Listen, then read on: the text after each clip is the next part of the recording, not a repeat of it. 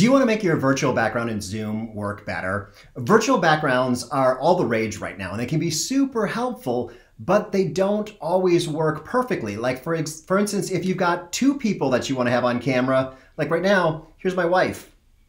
There she is. And now here's my dog.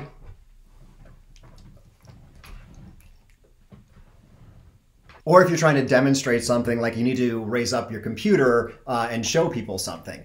Uh, the, the background just doesn't work if you're using just the standard digital background. See there, my fingers disappeared too. So in this video, I'm gonna show you how to fix that. So the first step is to make sure that Zoom is up to date because Zoom is constantly doing updates to their software to make it work better. So let's do that first. So head up to the upper left-hand corner to Zoom. Uh, this I'm on a Mac, but it's probably similar on a PC, and go down to check for updates. And it'll tell you if you have an update available and then just click update and install. And go through your standard install procedure.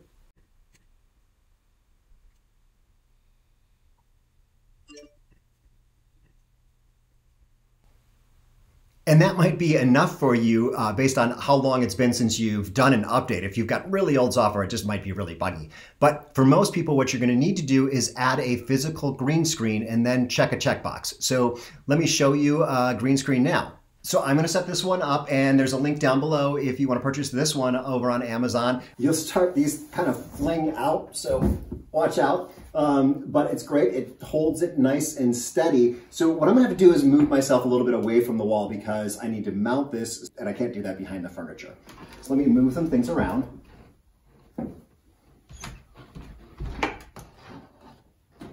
I'm gonna set this up behind the table and stand on the table. So this one comes with a tripod or uh, a stand here. So I'm just gonna set this guy up right here.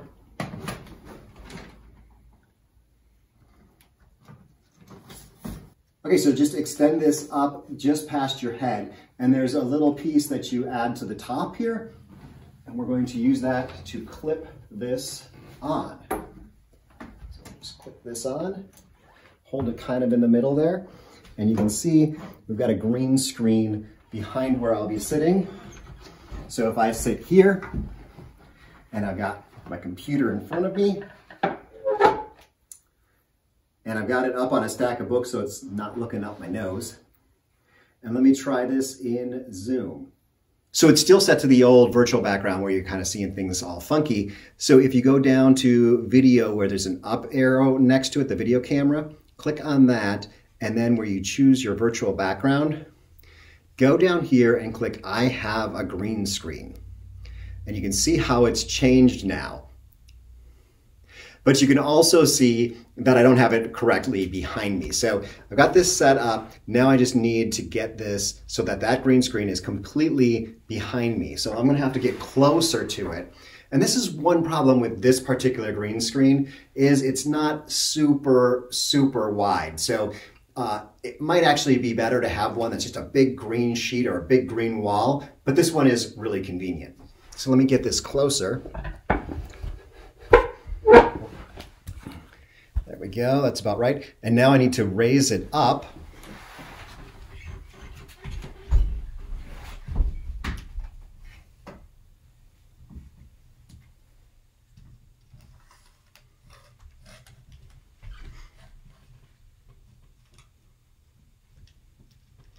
Scoot it around a little bit.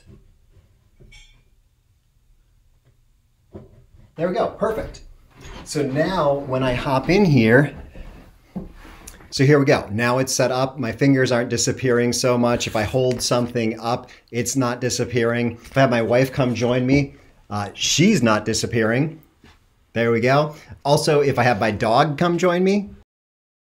So the only challenge with green screens is making sure that you are close enough um, so there's not a lot of space between me and the computer and the green screen right now. Um, I kind of wish that I had a little bit more space. It feels a little awkward um, to be this close to the camera. And depending on your camera, it might have might be really wide. So if you've got like a Logitech C930, it might be really wide. And so it would definitely see the edges of the green screen. So that is one of the challenges that you have facing a green screen. Another one of the challenges that you can't wear green. Well, I guess you could wear green if you wanted to have this kind of ghostly head effect. Let me show you what this looks like in real life.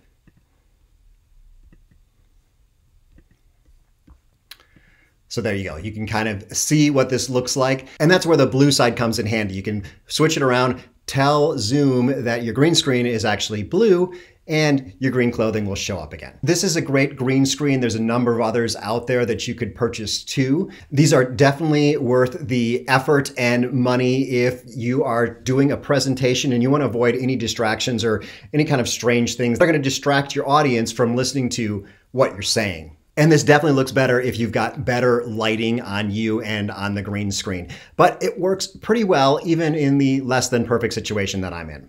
And also note that these can be a little bit tricky to fold up. So uh, check out another video about folding up one of these green screens up here.